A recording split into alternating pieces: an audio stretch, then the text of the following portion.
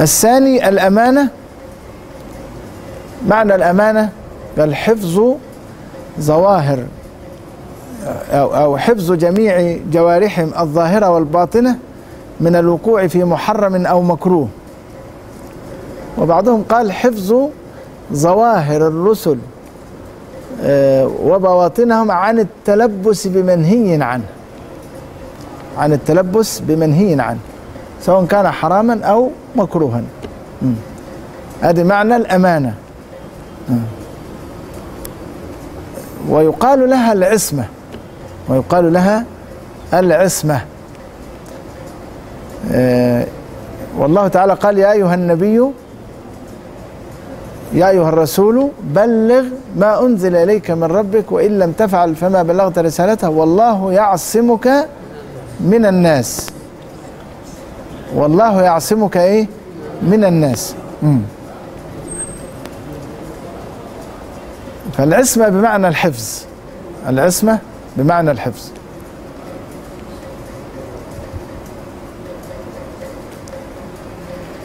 وسمي صاحبها أمينا للأمن من جهته من المخالفة.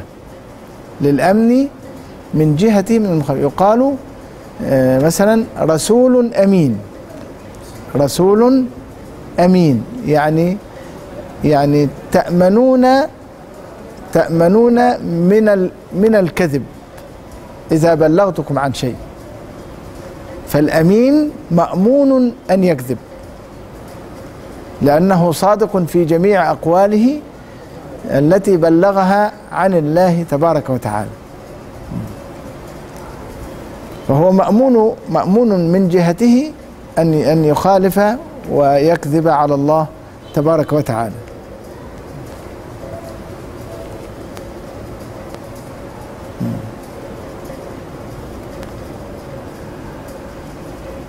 الثالث الصفة الثالثة أو الأمر الثالث الذي يجب اعتقاده في الأنبياء والمرسلين التبليغ. تبليغ كل ما أمرهم الله تعالى بتبليغه للخلق. ولم يتركوا منه شيئا لا نسيانا ولا عمدا لأن الله قال يا أيها الرسول بلغ ما أنزل إليك من ربك وإن لم تفعل فما بلغت رسالته. ولذلك لما آه، حدثت قصة آه، سيدنا زيد بن حارثة وزواجه بالسيدة زي زينب بنت جحش وثم أمر زيد بطلاقها ثم تزوجها رسول الله صلى الله عليه وسلم وإذ تقول للذي أنعم الله عليه وأنعمت عليه أمسك عليك زوجك واتق الله وتخفي في نفسك ما الله مبديه وتخشى الناس والله حقا تخشاه. فلما قضى زيد منها وطرا زوجناكها لكي لا يكون على المؤمنين حرج في أزواج أدعيائهم إذا قضوا منهن وطرا وكان أمر الله مفعولا. السيدة عائشة قالت إيه؟ رضي الله عنها لو كتم رسول الله صلى الله عليه وسلم شيئا من الوحي لكتم هذه الآية. خلي بالك لو كتم رسول الله صلى الله عليه وسلم شيئا من الوحي لكتم هذه الآية. ها واضح هذا يعني واضح فيها الكلام طبعا. ها ليه؟ يعني يعني آية فيها طبعا شيء من آه، يعني ال- ال- العتاب الجميل لرسول الله صلى الله عليه وسلم مم. يعني يعني السيدة زينب بنت جحش امرأة شريفة قرشية وزوجها رسول الله صلى الله عليه وسلم من من مولاه زيد ابن حارثة وهو مولى لأنه أصلا كان عبدا عند السيدة خديجة رضي الله عنها فأعتقته ووهبته لرسول الله صلى الله عليه وسلم. فزوجه بالسيدة زينب رضي الله تعالى عنها وهي شريفة قرشية ثم بعد ذلك لما كان رسول الله صلى الله عليه وسلم يعني يقال له هو أبو زيد بن حارثة ويقال لزيد زيد بن محمد. فنزلت الآية ما كان محمد أبا أحد من رجالكم ولكن رسول الله وخاتم النبيين. شفت إزاي عاد؟ فهنا طبعا ربنا قال إيه؟ فلما قضى زيد منها وطرا زوجناكها. يعني شوف أمر زيد بطلاقها والنبي كل ما يجي يقول له أنا أريد طلاقها يقول له أمسك عليك زوجك. واتق الله. ما هي الحكمة طبعا قالها القرآن لكي لا يكون على المؤمنين حرج في أزواج أدعيائهم إذا قضوا منهن وطرا عشان يهدم قاعدة التبني. لأن العرب يعني كانوا يعتقدون أن المتبنى ابن ابن للمت للمتبني. يعني كالصلب كابنه الصلبي يعني يرث. ويدعى باسمه زيد بن فلان. فهنا طبعا إيه؟ أراد الله تعالى ان يقول لهم ادعوهم ادعوهم لآبائهم هو أقسط عند الله. فإن لم تعلموا آباءهم فإخوانكم في الدين ومواليكم. بس يقول مولاي فلان لكن ما يقولش فلان ابني. شوف القرآن. آه. لأن القرآن قال وما, وما جعل أدعياءكم أبناءكم. لأن هذا زور وكذب. إن الإنسان يجيب واحد من الملجأ مثلا ويربيه ويقول هذا ولدي ويورثه ويدعوه باسمه. طبعا هذا كله من باب الزور والكذب. الزور والكذب. ادعوهم لآبائهم هو أقسط عند الله.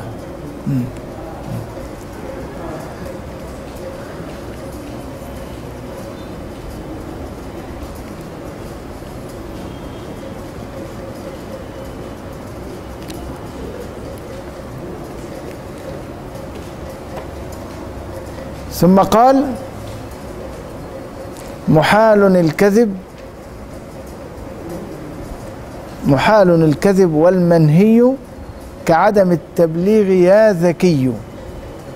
محال الكذب والمنهي كعدم التبليغ يا ذكي.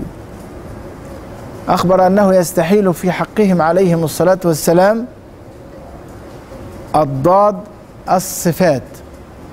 يعني ضد الصدق وضد الأمانة وضد التبليغ.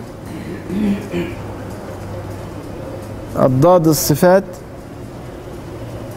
الواجبة لهم بمعنى أن وصفهم بأضداد تلك الصفات مستحيل. لا يتصور العقل في العقل وجوده. يعني لا يتصور العقل أن يكون هناك نبي يكذب. أو نبي يكتم أو نبي يخون. لا يتصور العقل هذا. وهي ثلاثة أولها الكذب وهو ضد الصدق.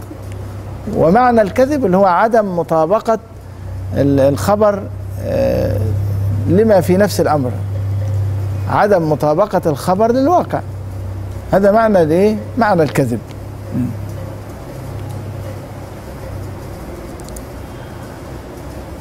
والثاني الخيانة بفعل بفعل محرم أو مكروه وهو ضد الأمانة.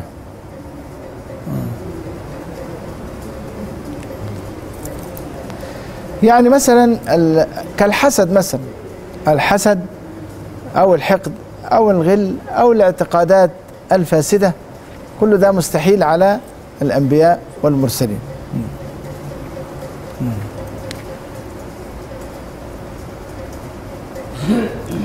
حتى المكروه حتى المكروه شرعا لا يتلبس به ال ال ال الأنبياء والمرسلون. لا يفعلون المكروه.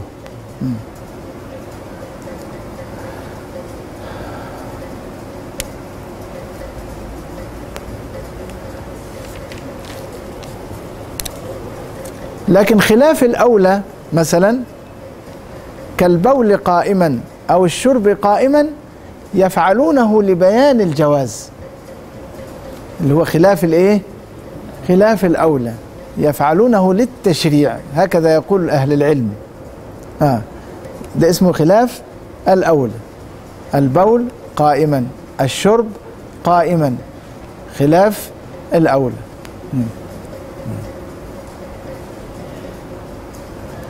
ومثلا آه، توضأ صلى الله عليه وسلم مرة مرة ومرتين مرتين وثلاثا ثلاثا. فالوضوء مرة مرة ومرتين مرتين برضو خلاف الأولى لكن لبيان الجواز. علشان لو واحد مثلا معه ماء قليل لا يكفي إلا لغسل الأعضاء مرة مرة. يبقى هذا جائز. يتوضأ يغسل وجهه مرة ويديه مرة ورجليه مرة. لبيان إيه؟ الجواز. ولذلك لما توضأ صلى الله عليه وسلم مرة قال هذا ما لا تصح الصلاة إلا به. ثم توضأ مرتين مرتين برضو لبيان أنه لا تصح الصلاة إلا بذلك. ثم توضأ ثلاثا ثلاثا أيوة غير السنة. توضأ ثلاثا ثلاثا وقال هذا وضوئي ووضوء الأنبياء من قبلي. فمن زاد على ذلك فقد أساء وتعدى وظلم. يبقى فعله صلى الله عليه وسلم حتى في خلاف الأولى لبيان إيه؟ لبيان الجواز بالنسبة للأمة لأجل التشريع. كالسهو مثلا. السهو. فالنبي عليه وسلم قال إني لا أنسى ولكن أنسى لأسن. يعني يقع منه السهو كما في الصلاة مثلا. لما سلم صلى الله عليه وسلم من ركعتين وقام لخامسة صلى الله عليه وسلم. ده كله ده لأجل إيه؟ لأجل التشريع. لأجل التشريع. مم.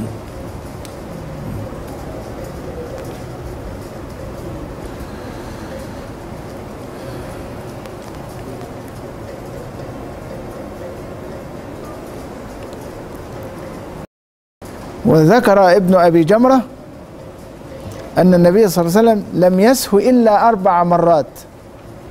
سلم من اثنتين وقام من الثانية من غير تشهد وقام من خامسة وأسقط آية من سورة صلى الله عليه وسلم.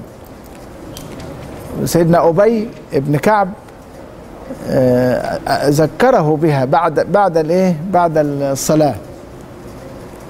وحتى نزلت الآية إيه؟ ألم يأن للذين آمنوا أن تخشع قلوبهم لذكر الله وما نزل من الحق. مم. دول الأربع مرات اللي ساها فيهم النبي عليه الصلاة والسلام. مم. نعم؟ ممكن الآية سنقرأك فلا تنسى إلا ما شاء الله. أي ما داخله كده. سنقرئك فلا تنسى إلا ما شاء الله. فهذا مما شاءه الله. هذا مما شاءه الله. مم. ولذلك آه، قال إيه؟ يا سائلا عن رسول الله كيف سهى؟ والسهو عن قلب غافل لاه قد غاب عن كل شيء سره فسهى. صلى الله عليه وسلم. غاب عن عن الوجود يعني. لش- لشدة تعلقه بالله. آه. قال قد غاب عن كل شيء سره فسهى عما سوى الله فالتعظيم في الله. آه. يعني هو من من إيه؟ من شدة تفكره في عظمة الله سهى. صلى الله عليه وسلم. ولأجل التشريع إني لا أنسى ولكن أنسى لأسن يعني ينسيني الله تعالى. آه. للسنة لأجل التسنن. حتى نعرف ماذا نصنع. إذا سلمنا من ركعتين أو قمنا من غير تشهد أو قمنا لخامسة أو نسينا آية مثلا نعرف ماذا نصنع. يعني هذا للتشريع يعني. هذا إيه؟ للتشريع. وهذا ليس نقصا في حقهم. يعني فعل خلاف الأولى ليس نقصا في حق الأنبياء والمرسلين لأنه للتشريع. آه. والثالث كتمان شيء. مما أمروا بتبليغه للخلق.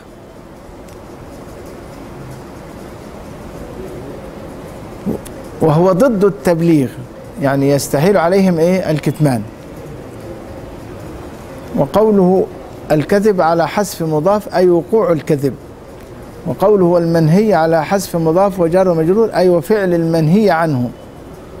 وقوله يا ذكي تكميل للبيت.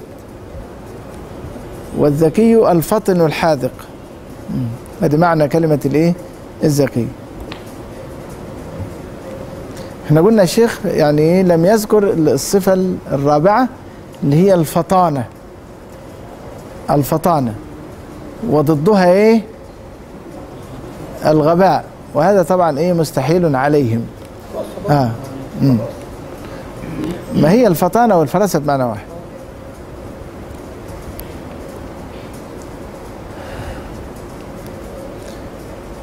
يجوز في حقهم كل عرض ليس مؤديا لنقص كالمرض. إحنا قلنا طبعا الواجب في حق الأنبياء الصدق الأمانة التبليغ الفطانة. يستحيل عليهم الكذب والخيانة والكتمان والبلادة. والكتمان والبلادة. أما الجائز في حق الأنبياء والمرسلين قال أخبر أنه يجوز في حقهم عليهم الصلاة والسلام كل ما هو من الأعراض البشرية التي لا نقص فيها كالمرض والجوع والألم وإزاية الخلق آه، والأكل والشرب والنكاح والنسيان آه، طبعا للتشريع والمشي في الأسواق. لأن حتى لما اعترضوا المشركون وقالوا ما لهذا الرسول يأكل الطعام ويمشي في الأسواق رد عليهم القرآن وما أرسلنا قبلك من المرسلين إلا إنهم لا يأكلون الطعام ويمشون في الأسواق. يعني هذا أمر إيه؟ عام في كل ال- الأنبياء والمرسلين. والمرض مثلا هذا عرض بشري. ما دام هو بشر يبقى معرض للمرض. وسيدنا عبد الرحمن بن عوف قال كان رسول الله صلى الله عليه وسلم تصيبه الحمى حتى إني لا أقدر على وضع يدي على ثيابه. يعني من فوق الثياب. ف- فقال يا رسول الله إنك لتوعك وعكا شديدا. يعني تمرض مرضا شديدا. قال إني أوعك كما يوعك رجلان منكم. إني أوعك يعني أمرض كما يمرض رجلان منكم. يعني شوف شوف السخونة حتى في الحمى يعني تشتد عليهم أكثر من غيرهم. يعني لدرجة إيه؟ إنه مش قادر سيدنا عبد الرحمن يحط إيده فوق إيه؟ فوق الثوب من شدة الإيه؟ من شدة السخونة. أيوة كما قال عليه الصلاة والسلام. أشد الناس بلاء الأنبياء ثم الأمثل فالأمثل. وكذلك الجوع يجوعون أيضا. يعني يصيبهم الجوع كما يصيب باقي الناس. مم. ها؟ لا ما فيش حاجة اسمها فتنة. ما فيش حاجة فتنة ما فيش فتنة في الأنبياء؟ آه ولقد فتنا سليمان. يعني هو يعني هو معنى الابتلاء برضو. ده من معنى الابتلاء مش الفتنة اللي هي حتى يتبين الصادق من الكذب لا مش. لكن دي معناها اللي هي إيه؟ آه يعني كنوع من الامتحان له. ولقد فتنا سليمان والقينا على كرسيه جسدا ثم أناب. مم.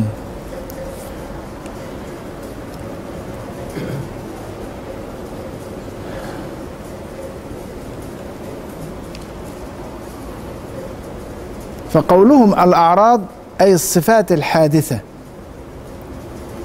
أي الصفات الحادثة المتجددة.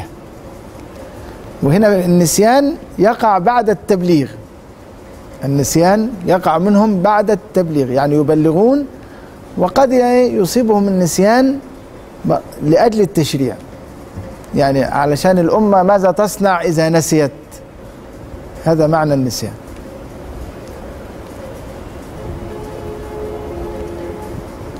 أو فيما لم يؤمر بتبليغه. أو فيما لم يؤمروا بتبليغه. يعني يعني لأن أحيانا الأنبياء يوحى إليهم ولكن لا يؤمرون بالتبليغ. لا يؤمرون بالتبليغ. قال فيجوز عليهم النسيان في هذا لأنهم لم يؤمروا بالتبليغ لأنهم لو أمروا بالتبليغ لوجب عليهم التبليغ ويستحيل عليهم الكتمان. فقولهم الأعراض أي الصفات الحادثة المتجددة. واحترزوا بذلك من الصفات القديمة التي هي صفات مولانا تبارك وتعالى. فلا يصح أن يتصف بها غيره. يعني صفات المولى يستحيل أن يتصف بها الأنبياء والمرسلون. واحترزوا بقيد البشرية الأعراض البشرية. كما مثل من صفات الملائكة عليهم الصلاة والسلام وهي غناهم عن هذه الأعراض التي وضعها الله في البشر. يعني الأنبياء والملائكة مثلا لا أجسام نورانية لا تأكل ولا تشرب ولا تنام. لكن الأنبياء والمرسلون طبعا لأجل أنهم بشر مثلنا فتجوز عليهم الأعراض البشرية. الطعام الشراب الجوع المرض الألم كل كل هذه الصحة والمرض كل ذلك إيه؟ جائز عليهم. فلا يشترط ذلك في الرسل عليهم الصلاة والسلام لعدم توقف الرسالة عليها.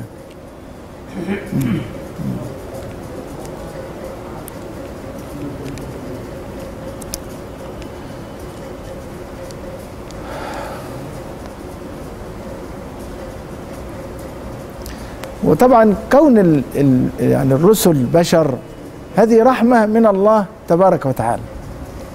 لم يرسل إلينا ملائكة لأن طبعا طبيعة الملائكة شديدة على البشر.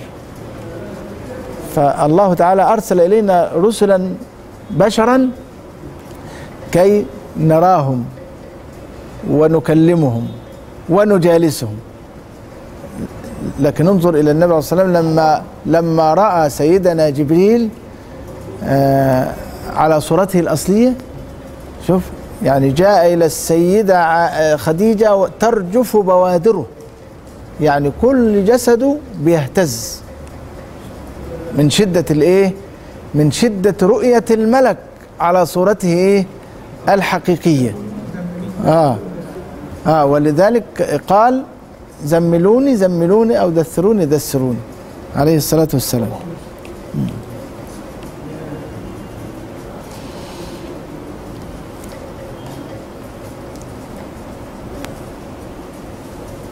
قال واسقط الناظم هذا القيد للعلم به اللي هو الأعراض البشرية يعني في هذا المقام.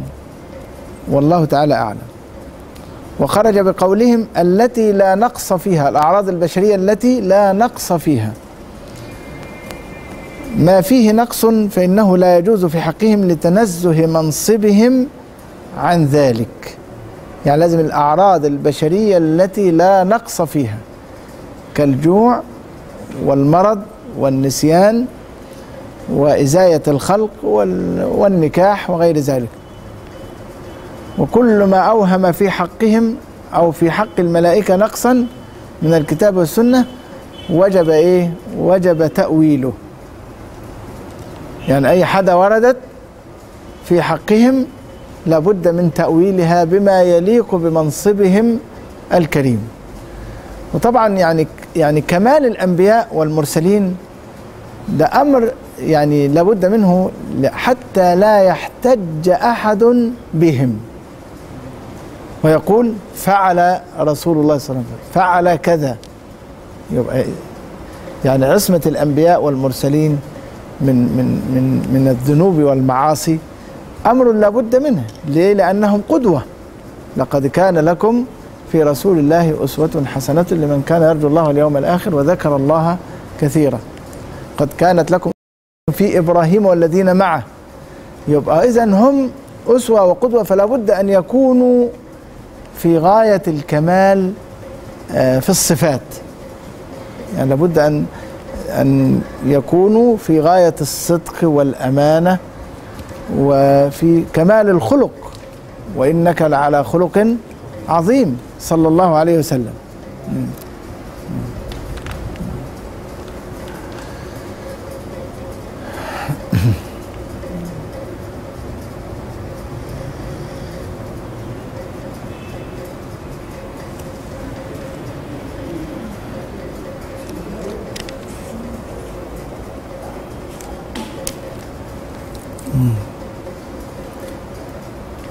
هذا ونقف عند هذا الحد ونسأل الله تبارك وتعالى أن يعلمنا ما ينفعنا وأن ينفعنا بما علمنا وأن يرزقنا علما وعملا وأن يجعلنا وإياكم من الذين يستمعون القول فيتبعون أحسنه.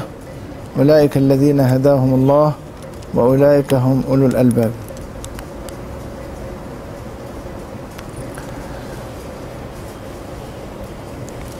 اللهم إنا نسألك ونتوجه إليك سيدنا محمد النبي الرحمة يا سيدنا يا محمد يا رسول الله. إنا توجهنا بك إلى ربنا في حوائجنا جميعها لتقضى لنا. اللهم فشفعوا فينا شفاعة مقبولة مرضية. اللهم إنا نعوذ بك من الهم والحزن ونعوذ بك من العجز والكسل ونعوذ بك من الجبن والبخل. ونعوذ بك من غلبة الدين وقهر الرجال. اللهم إنا نعوذ بك من علم لا ينفع ومن قلب لا يخشع ومن نفس لا تقنع ومن عين لا تدمع ومن دعوة لا يستجاب لها. اللهم إنا نعوذ بك من زوال نعمتك ومن فجاءة نقمتك ومن تحول عافيتك ومن جميع سخطك. اللهم طهر أعمالنا من الرياء وطهر قلوبنا من النفاق وطهر ألسنتنا من الكذب وطهر أعيننا من الخيانة. اللهم إنا ضعفاء فقو في رضاك ضعفنا وخذ إلى الخير بناصيتنا واجعل الإسلام منتهى رضائنا. ربنا اغفر لنا ذنوبنا وإسرافنا في أمرنا وثبت أقدامنا وانصرنا على القوم الكافرين. ربنا أفرغ علينا صبرا وتوفنا مسلمين. ربنا أتمم لنا نورنا واغفر لنا إنك على كل شيء قدير. ربنا لا تزغ قلوبنا بعد إذ هديتنا وهب لنا من لدنك رحمة إنك أنت الوهاب. ربنا آتنا من لدنك رحمة وهيئ لنا من أمرنا رشدا. ربنا آتنا في الدنيا حسنة وفي الآخرة حسنة وقنا عذاب النار. ربنا لا تجعلنا فتنة للقوم الظالمين ونجنا برحمتك من القوم الكافرين. ربنا لا تؤاخذنا إن نسينا أو أخطأنا. ربنا ولا تحمل علينا إصرا كما حملته على الذين من قبلنا. ربنا ولا تحملنا ما لا طاقة لنا به. واعف عنا واغفر لنا وارحمنا. واعف عنا واغفر لنا وارحمنا. واعف عنا واغفر لنا وارحمنا. أنت مولانا فانصرنا على القوم الكافرين. ربنا اغفر لنا ولإخواننا الذين سبقونا بالإيمان. ولا تجعل في قلوبنا غلا للذين آمنوا. ربنا إنك رؤوف رحيم. وصلى الله على سيدنا محمد وعلى آله وصحبه